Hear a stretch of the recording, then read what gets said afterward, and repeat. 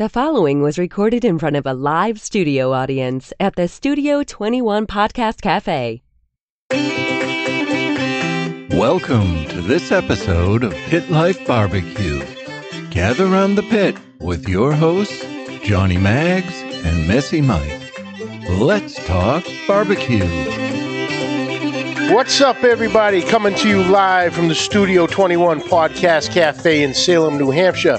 It's the Pit Life Barbecue Podcast where we talk everything barbecue and a lot of other topics that you normally talk around the pit. As always, I'm joined by Messy Mike. Hello, hello. Hello, hello. Oh, in the basement.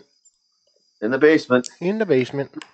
Figure the the levels of sound are better down here, and no, no no one will really bother me. And I couldn't go outside because it's raining. I know it just started raining up here. What the hell happened? It was beautiful all day. I don't know. That's Uh. New England. Give it five minutes, it'll change. Yeah, I know. I know. Hell, a lot of rain recently, though. yeah, hell, Saturday it was uh Saturday was snowing in the morning, then it went to rain, Yeah. and it was. What is this all about? yep. Yep. Oh, And uh, and first, uh, you know, I know we're we're viewing all over the place, but um, Gronkowski went to the Buccaneers, so just wanted to, you know, share the news. I'm sure you've got you guys have heard as well. who? Huh? Who? Rob Gronkowski. Who? Who? Just like that Tom guy everyone keeps talking about. He's who? a, I he's don't a tight end that doesn't like to play a lot. Well, they, he's the tight end that won me a bet with Daddy Dutch. Oh, there you go. Yeah, we had we might have had a little wager that we can't speak of right now on the uh, Masked Singer. He Ah. claimed it was The Rock. I knew it was Gronk, and we put a little something down on How it. did he think it was the Ro- the whole world knew it was Gronk? It was something in Yeah, one of the one of the clues. It's Kent says it claimed it said the U. So the only one that's kind of his side is the Rock, the Rock, and he yeah. went to the U, but it's neither here nor there. I'm glad you won Yep. that bet. Oh, I did, and I can't wait for wait for to reap the rewards. To rub it in like Oh, a it's good sauce. Oh, it's a complete. It's it's a, a thing of beauty that's going to happen. I can't say right now because you're putting the final touches on it. All right. But- Update us when you when you Oh, are able to. Believe please. me, Thank we you. will. Be we will. Um, oh man! So today I'm very excited. I have followed this gentleman for a while, him and his son, who is a hell of a cooker in his own right. Um, ladies and gentlemen, from Blues Hog, Joey Machado. How are y'all doing today? Thank y'all Good, so much for doing? having me. Thank Thanks you, for Joey, for on. taking some time. It was very, really appreciate this. Oh yeah, for sure. So, Joey, let's start um, for people who don't exactly know you. Um, Who is Joey Machado, and how has how did you come into your barbecue journey? I got you. Well, um, for those who don't know, I basically I, I'm in Texas, Central Texas. I'm kind of in between San Antonio and um, Houston, Texas. You know, kind of rural area. Um, always grew up in um, sales and marketing type of deal. Uh, but I have always competed in barbecue. So I was a barbecue competitor, competitor rather for uh, 20 plus years. Always, you know, did local little stuff, and you know, we just kind of our passion grew into uh, doing more and more in the barbecue world. Um, we probably wound up seriously into barbecue business uh, probably about five years ago uh, when I kind of started. We were doing com- competition, but I was also in in oil field, uh, oil sales and gas and that type of deal, and uh, started doing diversifying into doing some catering, uh, oil field catering type of deal. Um, needed more products, more supplies type of deal, and and we actually made a relationship with uh, Travis Kiner, who is the uh, owner of uh, B&B Charcoal Products. And um, so I kind of, it was a transition time. I was trying to decide if I was going to go do barbecue uh, catering full time or, you know, continue to keep it as a hobby. Um, at that same time, uh, Western Wood Products uh, had sold out and uh, to the Duraflame brand. And so, with me being that marketing guy that I always was, um, I started having a little bit more in-depth conversations with uh, the guys with B and B, and uh, you know, just trying to tell them that you know there was a window open um, to where there was a lot of guys who uh, weren't feeling as loyal to the Western brand, and uh, I thought there was a chance to grow grow this brand, you know, the B and B brand. And uh, as we entered into that portion of the deal, I started kind of marketing for this company, doing trade shows, you know, branding everywhere. Uh, not on the payroll, just you know, we were trading it out. You know, he was giving me charcoal, and you know, I was out there branding for him, and uh, it's kind of how we first got our first kind of sponsorships kind of going. Um, and then it just kind of evolved into eventually I got on, you know, they asked me to come on full time.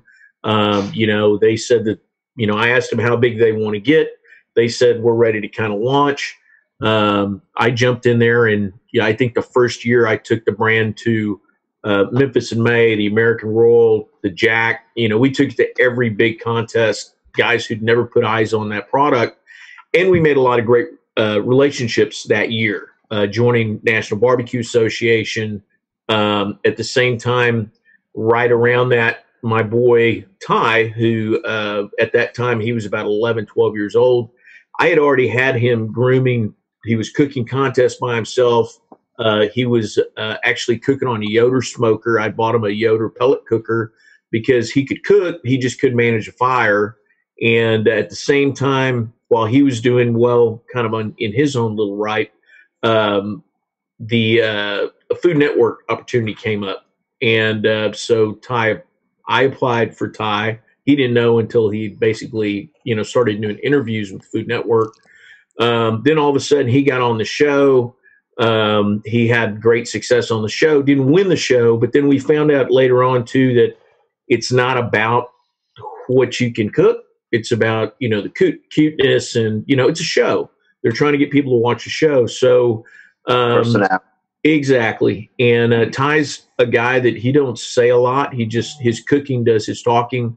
Um, and so, you know, he wasn't that kid that's shown out there, you know, as being like this could be our spokesperson, you know, type of deal. Um, the kid was just very serious about cooking and winning, and you know that type of deal. And he lasted six out of eight rounds. So, I mean, in his own right, it was good. Um, they never let him cook on what he you know what what he actually cooked on. Say it was mm-hmm. desserts and you know appetizers and all this other stuff. So he never made it to the barbecue round. And I always joked with him. I said, "Well, I'm kind of glad that you didn't get there, that you got kicked off before, um, because you can always defend, you know, everything else you've done barbecue wise, you know, with trophies and you know all this other stuff that you got." And they they made him cook on like an electric smoker, you know, on that on that deal. So I was like, that's like totally you know, if you would have gone out anytime you wanted to do it on something that you're not familiar with, opposed to something that you're, you know, that's your bread and butter type of deal. So, anyways, uh, we kind of went from there. Um, again, like I said, we're we're because of the relationships that I've kind of built in the industry, uh, doing what I did with B and B, building the brand into what it is today, um, and then also uh, the relationships that we kind of got while we were uh, while Ty was filming. I met a couple of people that are pretty hardcore in the barbecue industry.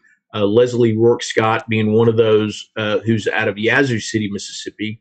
Um, they were in the game for a long time, and her son Jacob and Ty kind of hit it off, and they were big on the uh, barbecue festival circuit. So soon after we filmed the show, they started inviting us to go out to you know Q in the Lou and and uh, barbecue block party in New York uh, Windy City Smokeout Chicago, and we started to kind of go. And as soon as we went, you know, we met guys like Myron Mixon, and we met Moe Cason, we met you know all Brad and, and Brooke Orrison. Um, so we met all these bigger players in the game at the same time. I joined NBBQA, became you know part of that board, um, and then I was again around those same people all the time. So we were just kind of very blessed, I guess, to fall into the right place at the right time scenario and um, got to build relationships. And that's what this industry is about, is about industry relationships and not burning bridges. Um, it's super, super important in this deal. You know, there's a lot of guys who want to go out there and go, oh, but we want to get, You know, we're looking for sponsorship for our team. Awesome. You know, who are you trying to get sponsorship from?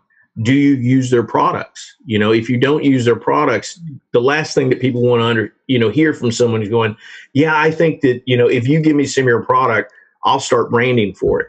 Well, if you don't believe in the product, I don't want you pushing the product. You know, so it's got to be something. There's got to be some history there. And so, you know, I've kind of taken it, made it a point, you know, to help a lot of people who are looking for that, you know, for looking at that deal. There's there's only going to be one Moe Cason. There's only going to be one uh, Malcolm Reed. There's only going to be one Cosmo. You know, uh, people can't come into this thing and and expect to be like so and so. You know, there's only one diva. You know, um, Mm-hmm. and uh, the days of creating those barbecue influencers like that, I think is kind of over. You know, uh, it's it's not that it's no one else is going to have success in it. It's just nobody's going to have that type of success. You know, Pitmasters was huge. You know, at that time, that's where Moe and and uh, Myron, you know, really made that mark. Tuffy Stone, you know, Ernest Servantes. He was at my house this past weekend. We were doing some filming. Um, you know, that's a guy who probably the first Texas guy and the first Hispanic Texas guy, I guess, Yeah. to really make a mark in in the barbecue scene, national barbecue scene. We got a lot of great cookers in Texas, but there's very, very few, a very small uh, majority of those who cook outside their comfort zone. Go do KCBS. Um, if you want to be known in this game, you have to cook KCBS. There's no two ways about it. You know, you've got to be at that Royal. You've got to be at that jack, you know, that type of deal if you have the opportunities to go. Barbecue is a very expensive sport. Uh, it's an expensive hobby. Oh, for you know, sure. there's a lots of guys who, you know, have real teams. When I when I was cooking, I didn't have a team. It was me buying beer for 20 guys who would come show up and drink my beer. You know, I didn't have guys who, you know, helped me set up, break down, buy meat, you know, all that other type of deal. Um, now I think the game has changed a little bit. I think people take it a little bit more seriously. You know, there's a lot more money involved in, you know, the equipment, the proteins, the injections, the, you know, whatever. Um, and I, I think the game has changed, you know, but there's 10 times the amount of contests every weekend as well. You know, for us here in Texas, uh, I think you can pretty much say that Christmas and Thanksgiving are probably the only days that there are not a cook off, you know, on that weekend. Other than that, I mean, from bell to bell, I mean, there's, if you want to go cook, you can go do one within 30, 40 minutes of the house. Um, I love competing. I just don't have the time to compete anymore like I used to. Um, so that's why I kind of fell into doing a lot with SCA. So love SCA, quick cooks. Um, you know, we've had a lot of success. Both I've had success. Ty's had a lot of success with it. Um, you know, we lucked out and started doing a lot of stuff with uh, World Food Championships. Um, that's another really, really cool avenue now. You know, that gives uh, not only chefs but a lot of cooks opportunities to get out there and and cook with some of the best of the best from coast to coast and the world for that matter. Um, but I mean, really, in a nutshell, you know, we we kind of fell into it. Uh, we made a good name. Uh, we we helped some brands grow into something really great. Um, I left B and B May. Well, actually, the last day of Memphis in May um, last year.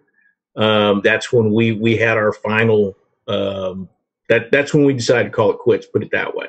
Um, when we did that, I kind of left and uh, was very unsure if I was going to stay in the charcoal market uh, because I didn't want to. I didn't want it to seem like I was going in to try to go crush them or you know anything like that. Um, but in the meanwhile, I had already been in conversations with uh, with Tim Scheer with uh, Blues Hog. We'd already been friends. We'd already been doing some stuff together. Um, they just weren't kind of prepared for me to you know kind of make a jump with them yet. Um, in the meanwhile, uh, Sebastian with uh, Fogo Charcoal, uh, we got to know each other, you know, have some good conversations. Uh, I took a small stint with him to help him kind of promote the brand, blow the brand up a little bit. And then, kind of in the middle of me kind of doing that, uh, Tim came back around and goes, Hey, man, you know, I think we're ready to You know, let's let's do this. You know, and again, Tim Scheer, uh, for those who don't know him, um, tallest man in barbecue. Um, he is a uh, he, he's a hell of a guy. Um, he's I don't know how he does everything that he does. You know, he's got a a uh, landscaping company that is a huge kind of commercial company. Um, that's I think what he kind of grew everything with. Um, you know, he acquired Blues Hog, he acquired Gateway brand, and uh, you know now the Blues Hog brands are in. We're going to say they're in a lot of grocery. They're in a lot of uh, Ace Hardwares. They're in a lot of specialty stores, but it's a well-respected product, well-respected brand. Um, everything that he's got, it you know, is it's a great product. Uh, so I had a lot of, uh, I, I really liked the product going into it, and that was very very easy for me to make that transition because again, even when I was at B and B, that was the product I used. Um, it was very local to me. I mean, the plant was 40 minutes from my house.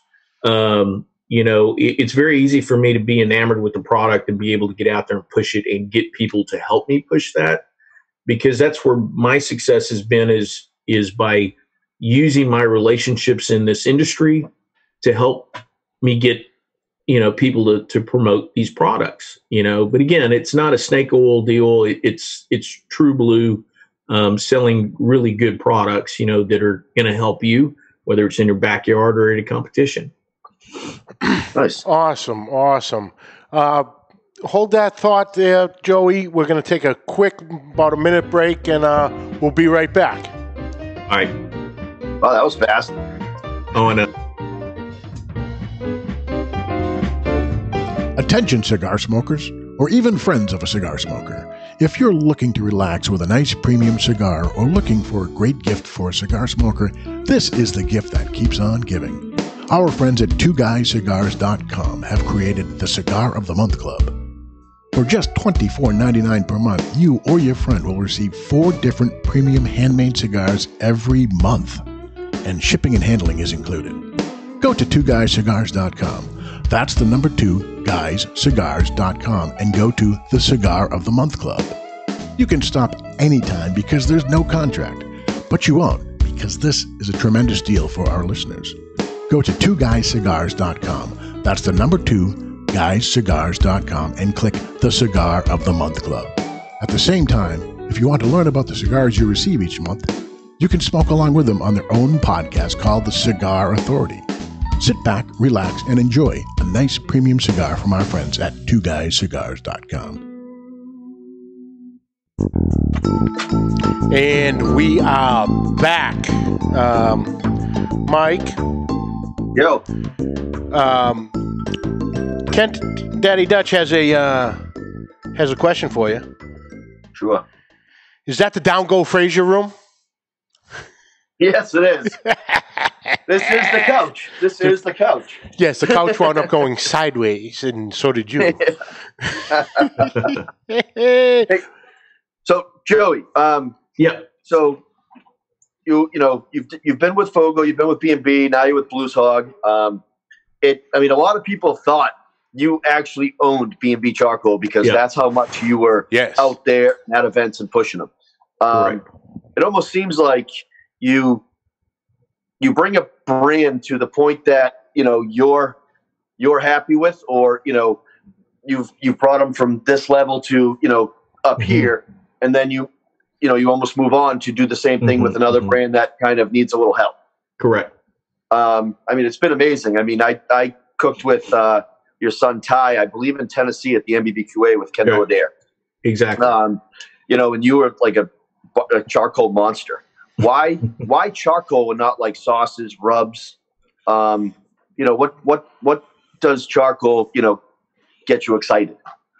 Um, I tell you honestly, it wasn't my first choice. Uh, put it that way. You know, um, in everything I've ever done, I've, I've always done kind of like a wish list of you know people I wanted to work with or or you know brands I wanted to kind of get tied into, and uh, we actually had a, a really good relationship with Yoder Smokers, and um, we you know we we we talked a little bit about maybe doing some stuff with Yoder Smokers, and it just it was opportunity. Um, there was no opportunity like there was with that charcoal market at the time. and the growth, I could just see, you know, I was already seeing this runway that was just like wide open. And, um, you know, at the time there was so much turmoil in the industry that, uh, you know, it, it's, that's the thing that was the most viable to do. Now, the other thing was, is when I first joined B&B, it was going to be a long-term opportunity. You know, this was a family-owned company. I really, really liked the fact that they were a family-owned company. Um, you know, they originally had no intentions of doing anything but grow that company. And uh, so initial talks that we had was, you know, I was working for a piece of that company. And um, that's the reason that I, I, put the time in that I did, that I, you know, was burning up the road like I did. Um, that was the intention. Um, unfortunately, as we moved and progressed through it and we built more and more into that, you know, built what that company was, uh, the company decided that wasn't the direction they wanted to go anymore. You know, they saw the opportunity to do more with big box stores. They got had brokers that were already involved, which the brokers wound up being the marketing company that came in who wanted the marketing company wanted me to work with them to grow other brands that they had and that's not what i was about you know it, it was about yeah. doing this you know i had an op- i had an option i was either going to work with a marketing company or i wasn't you know, and I didn't want to. That's not who I went to work for. I went to work for B&B. And uh, when that opportunity was not there anymore, that's when I decided to move on. You know, as soon as I left, actually that same day at the Royal, I had meetings with Royal Oak there at, I mean, at the uh, at Memphis in May. You know, and we have we had the meetings. We went to the headquarters and we got to talk and everything else. And the reason I took Fogo over Royal Oak was because I think the impression of me going straight to a brand like that, like a big Royal Oak like that, it would look really negative on me um, because it would look like I was going to go try to crush, you know, a brand, you mm-hmm. know, and that's mm-hmm. not what it was about. You know, it, it's again, and you could ask anybody that I had worked with before. Um, I talked to all my ambassadors when all this was going down before I ever made any announcements. And I told the guys, I was like, look, I'm fixing to make a move. If you want to stay, you can stay. If you want to go, you can go, you know, whatever it is. I helped a lot of guys who left me and B to go and uh, jump on board with Royal Oak and, you know, become those ambassadors. One of the, the big deals when I met with Royal Oak was I told them who was valuable in the industry and who wasn't as an ambassador. Because there's a lot of guys you can just pay and um, and they'll promote your brand, you know. But again, if somebody shows up with another nickel, um, they're going to go and, and push that brand. And again, we're focused on doing stuff with backyard guys. You know, backyard guys are the ones who who buy the product and actually make the company money. Um, so again, getting back to your question, you know, why was it charcoal and not seasoning sauce and everything else? that's exactly why I'm where I am today. Um, because Tim is a diversified company. He's got cookers, he's got charcoal, he's got sauce, he's got seasoning, he's got everything. And the other thing too is Tim is a lot mm-hmm. like me. He's got a vision on how we can tie this all together, you know. And again, I don't care if you're using a gateway, then I don't care if you're burning Western wood charcoal products or you're burning b&b or you're doing this or you like head country sauce will you use my other products we're in a position where we can be friends with everybody and that's super super important with me um, so again there's no animosity anywhere um, I, i'm in a position now where i can be friends with everyone again and um, you know because there for a little while you know i had to kind of like, i'd go to events and i you know have to stay away from them because they were on that deal you know and and I had a lot of people when I made the change who didn't understand everything behind the scenes. You know, they were like, oh, well, you know, it's now you're over there and, you know, and we're over here. And it's like two separate teams, you know. So we were all friends. It's not a big deal, you know. Um, but again, like I said, a lot of people just didn't understand, you know, what the underlying thing is. Um, but again, like I said, I, I love where I'm at right now. This is exactly where I want to be as far as you know being able to have all these opportunities to deal with all these individuals i still get to do my same schedules as far as going to all these events and you know all that other stuff that's huge to me um, I'm more of a marketing guy than Mhm. I'm a sales guy. You know, and um, and that's that's where we're at today. Now, how long? Like how long out of a year? How how many days out of a year are you on the road? So normally, um, year before last, I was 154 nights in a hotel, and that's not including you know when I slept in my truck and you know all that type of stuff. Um, last year we tried to tone it down a little bit because I was getting a little I was getting a little tired. Um, you know, I have uh, my big deal was is I had two big trucks. Um, I had big trailers, and you know, and that was my branding going down the road and at events and you know whatever uh, I was always uh, very much of a um, kind of like a under the table marketer. You know, when we started with B and B, we didn't have a big budget. You know, I, I didn't have any budget to be honest. You know, it was a new position, and I just started to go do stuff. You know, I'd show up at events basically kind of uninvited. Um, you know, and I would just start handing out product. You know, and you know, people aren't going to use this stuff until they understand it. You know, type of deal and that's how we kind of built it on. So um, this year, when I joined up with Tim, you know, Tim had a brand new truck, brand new trailer. You know, he's like, "Yeah, we're ready to go," and I was like, "Man, I I really don't want to do that anymore." You know, um, I said, "I I said, man, I want a van." And he's like, "What are you talking about?" I was like, "No, seriously, I want a van." And uh, Tim did. He got me a van. Uh, we've got it branded. Um, I've, and seen, I've seen pictures of the van. It's it's shop. It's Yeah, a yeah, looking so- van. When we had that conversation, he's like, "Oh, so you got to you want to put the Machado thing on this thing?" I was like, "Yeah." Said, "I want a blacked out van, blacked out wheels. I want blacked out everything." And uh, but the thing was, we we actually we met in Houston at Houston Rodeo. Um, we had shipped down here like 14 cans, and he brought me the van down with product. You know, that's when we officially got started. And um, when we left that event, you know, I took the van home and literally we had 14 gateways in that thing and uh, plus product, plus everything else. And um, we've got the van rigged out now. Um, you know, we're ready to go with that thing as soon as we can get back on the road again. Um, here in Texas, it's been, I'm going to say it's been fairly lax, you know, but we are a company that uh, they, they say that we're essential because we're, you know, in food service and that type of deal. We actually are doing producing uh, ready to eat meats right now. Um, and that's being launched here pretty soon. You know, it's going to the grocery, it's going to be on for online sales and all that, but it's probably one of the most fantastic products you've ever had.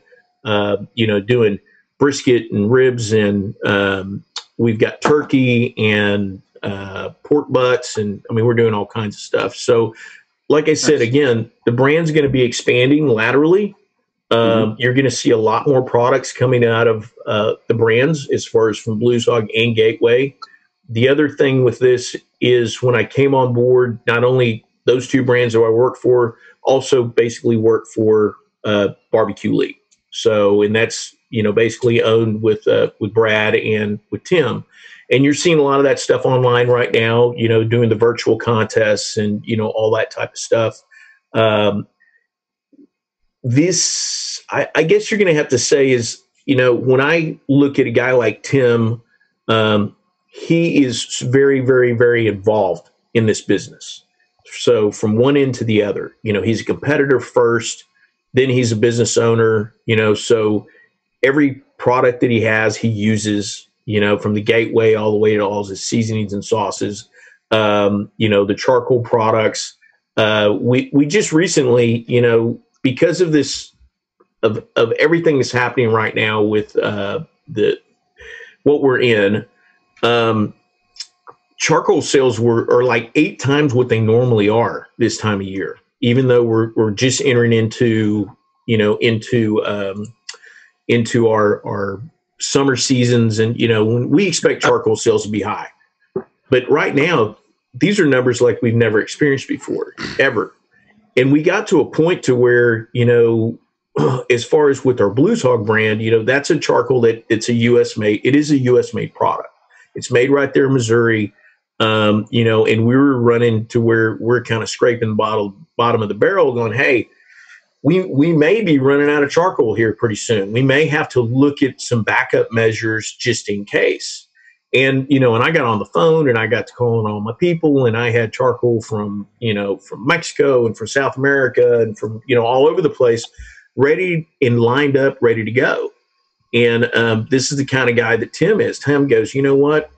That's awesome, but you know what? Because of what our product is, we're not gonna we're not gonna go down that road. We're gonna wait and we're gonna see what happens. And luckily, I mean, right at that same time, then it was like green flag, we're ready to go. We're we're back in business again, you know, type of deal. And that's the mm-hmm. kind of individual that he is. You know, there's a lot of companies right now that are US made products that are not putting US made product in the bag, you know, because again, they everyone scrambled, they had to, you know, make split decision, you know, they just brought in this South American product or this Mexico product, whatever. It comes in in bulk, and they're or they're sending bags down to go get them filled or whatever. So, I mean, a lot of people may notice over these next couple months because it's just product that's going to be hitting the shelves now is not going to be exactly what you used last time. It's going to be a little different, you know, and, and that's okay. It's only a temporary fix, you know, and you only had to do that for a short period of time. But again, I was very, very impressed with the decision that he made. He goes, I'd rather not sell anything than put something else that's not my product in the bag. Yep. And, you know, and, and that's, and like I said, and that, that's what it's about, you know? And, um, but again, like I said, it, it's, I'm just, I'm very, very happy with where I'm at right now. And, and I'm so excited about what's fixing to come because, you know, everything that people relate to this brand, um, they're just going to see it improved over the next couple years. You know, the product lines are going to expand. You know, there's going to be um, more opportunities to buy the product. Um, so, like I said, other than that, I, there's not a whole lot more I could say than you know than I'm just pleased right now. Nice. Um, do you think the uptick in the charcoal sales, you know, has something to do with this whole like quarantine thing that you know 100%. everybody's home and you know they can't they can't um, obviously the the competitions every weekend are you know Yep. canceled so guys just practicing their cooks or just Yep. cooking in general you know you get the regular weekend warrior who is officially at the weekend seven days a week you know Mm-hmm. and obviously you need the, the problem at that point is you can find the charcoal but can you find the protein Yep. So I think that you know the first week or so of uh, this stay-at-home thing, you know, when it started kicking off, uh, because I'm still on the board, you know, with NBBQA, um, we had conversations with guys with Weber, with you know every everybody that you can imagine in the industry, um, you know, RecTech, you know, any of those guys, and we had all the same discussions, you know, because we were we happened to be um, at the last uh, trade show of the year. We're going to call it the year, which was HPBA down in New Orleans, and um, ran a lot of these guys in the industry. And you know, they're going, "Hey, man, you know, oh, what's going to happen?" You know, and because we didn't know what was fixing to go down, and um, you know, and I same conversation with everybody. I said, I think this is the time that we just we focus on positive social media. We're going to have to take advantage of the opportunity that people are going to be stuck at the house um, they're going to have to start cooking. Um, you know and now a couple weeks you know we're, we're five weeks into it six weeks into it almost. And you know the trends that we're seeing right now is okay proteins are back. We're able to go buy this stuff. Um, the charcoal sales again are, are way up. Uh, grill sales are way up especially on inexpensive grills you know anything under 400 bucks. Um, so everyone has decided to cook they're cooking for their family. They're cooking for their neighborhoods. In the neighborhood I live in right now, as soon as it's about six o'clock ish or the sun's fixing to kind of go down, everyone's at the end of the driveway. Everyone's walking. Everybody's riding a bike. You know, there's, I mean, I don't think there's a home repair left to do in my neighborhood. You know, I think everybody's knocked all that out. Um, but the one major deal is, is, and I do it a couple times a week, is I would cook and I would cook for whoever wants to come and eat, you know, and we just send stuff with them, you know, send it home. You know, we have neighbors who are asking about, you know, hey, you know, do you think you could do this for us? You know, Easter I cooked uh, like 10 turkey breasts and we just took them around the neighborhood and, you know, handed them out. Um, but it's, Awesome. it's that thing. I, I think now we're, we're we're pushing people back to where we were about 10 years ago, maybe even more, to where, you know, people did a little bit more with family. And, you know, and again, there's, you know, everyone's been kind of on this barbecue trail anyway. You know, everyone's been more enamored with barbecue uh, just because social media has gotten so much stronger, and um, everybody's cooking anyway. You know, but now people want to take the time to perfect it a little bit more, and you know, and they they're, they're this is the time they're passing these traditions on to kids right now. You don't know what impact this is going to have 10 years from now on these kids who are just anywhere from from five to you know 15 years old these kids now know how to cook you know which previously they didn't you know and i think that that's one of the biggest impacts that we're so proud of in the industry is we're going to be able to see that we've just extended barbecue business for another 20 years. Um, i've always told people you know i said if we skip one generation on teaching them how to barbecue um, we'll lose it you know? And i think this has just solidified the fact that you know they're going to have to continue to do this so uh, business isn't going to hurt. Now it's going to hurt some smaller businesses who don't have the ability to produce a bunch or you know that type of deal. We already see that especially in a lot of craft barbecue houses um, you know those guys aren't ready for this you know those are guys who went week to week you know and you know that type of deal um, but again like i said in the in the broad aspect of this thing um, the industry is going to be really good for a long time Nice. Um, Joey, uh, Bill Purvis from uh, Chicken Fried Barbecue. yes Is, houston uh, boy He's uh, he's asking who has the best cooks, the IBCA or the KCBS, in your opinion? so that's a that's a catch 22 so again we've got great cooks in texas ibca guys um, gulf coast guys. I mean there's there's more than one sanctioned body in texas. Um, but there are some guys who again they ventured across and go cook kcbs and they it's you know all that. It's like asking you what's the best barbecue? You know i know 20 places that i love to eat but there's 10 places that I like to eat meat at. You know, there's one that I like their tea, there's one that I like their, you know, their coleslaw. Um, but I, when it comes down to designating, you know, who's the better cooks, um, it's been kind of a level playing field. You know, we had the World Food Championships over the last couple years, which have mixed KCBS guys and IBCA guys. So they've had the opportunity for both of those to cook each one of those sanctioned bodies. And guess what? The the Texas guys did great in KCBS, and the KCBS guys did great in IBCA. So it's kind of a mixed bag. Um, but when you get down to it, um, you know, I, I think that it's a it's a tie. I mean, to be real honest, I mean, there's there's guys who just will never cook IBCA, and there's guys who will never cook KCBS. They just took pork away from us on K on IBCA uh, like a year ago, you know, and it was a voted thing that they wanted no more pork, you know, as far as pork butt. But our deal was is it just had to be pork. They could have taken a pork butt and cut it up in steaks and grilled it and turned it in, and that was good enough to, to qualify. But guys just wanted to focus on the three meats, which is great. The only problem is, is you qualify to go cook the jack, the royal, the you know any of those. That's that one protein is going to kill you. You know, so being a diverse cook, I think, is more important than being able to cook three meats really well. You know, so that's that's where I'll leave that at. Question. Awesome, Mikey. You got anything? Uh, the clock. We're running out of time here. You got a lot, lot, final question, I'm good. I, th- I think he covered. I think he covered everything. Joey? You made this real damn easy on us. We didn't. Yeah. We, we. I think we asked two questions. Well, I tell you, I've I've I, I spent a lot of time talking to a lot of individuals, and and like I said, and, and the biggest thing is, I have so much information that I want to share, um, and you know, and, and like I said, I mean, I think that the pertinent information that we get out of all this is, um, you know, everyone who's involved in this does it because they love it. Um, barbecue's a thing that you're either going to love or you're going to hate. That's it. Everybody's got to eat.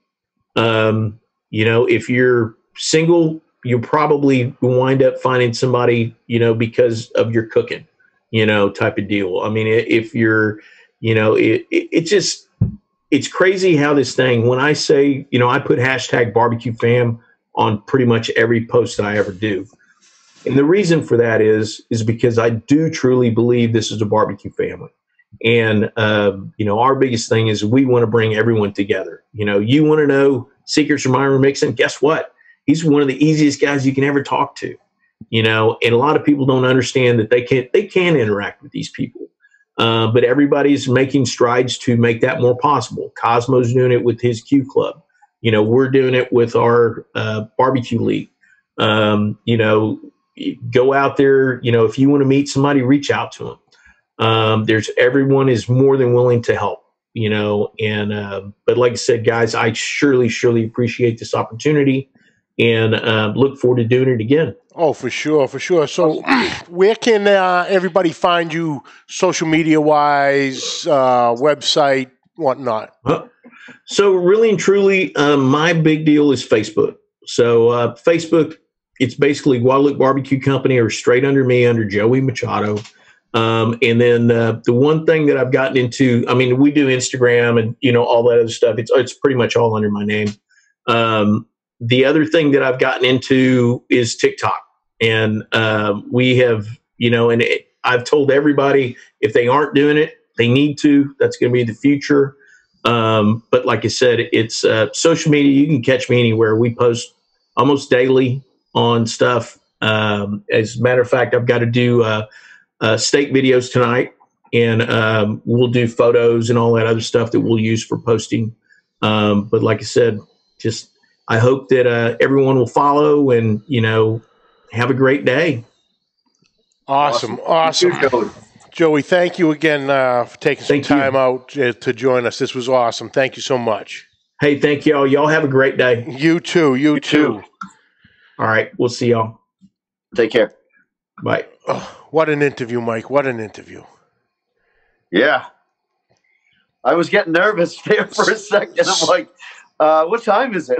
So so much. Yeah, that's the thing. I was looking at the clock. I'm like, oh boy, we could we could we could we could definitely get a, do a part two on this.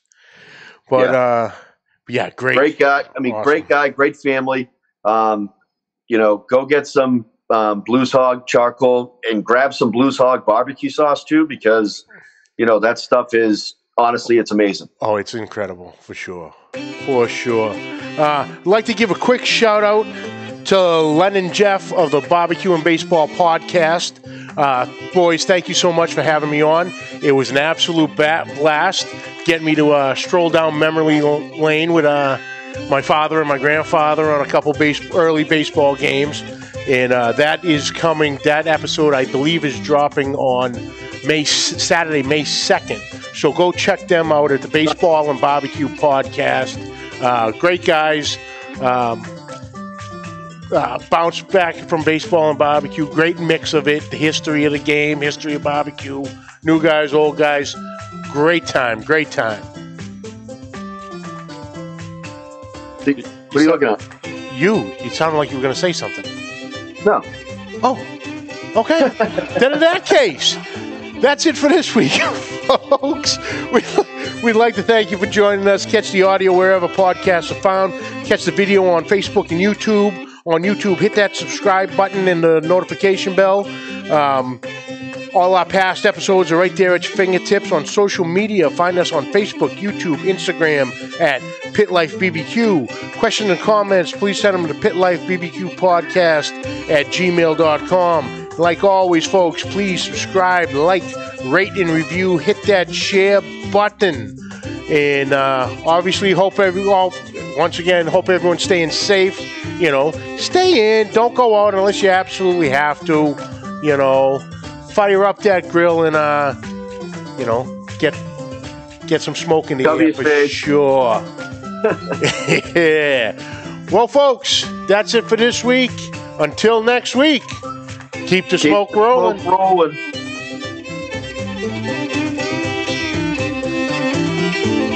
The views and opinions expressed by the hosts, guests, or callers of this program do not necessarily reflect the opinions of the Studio 21 Podcast Cafe, the United Podcast Network, its partners, or affiliates.